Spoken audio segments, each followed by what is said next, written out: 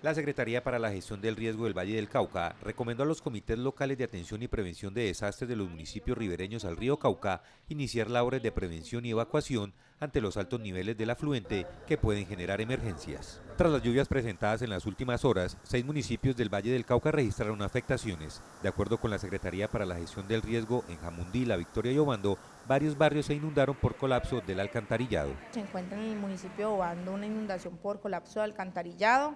En el municipio de La Victoria una inundación, pues se presume que es por río Cauca, pero lo que sucede es que el alcantarillado desemboca en el río y el agua pues está retornando debido al alto nivel del río Cauca.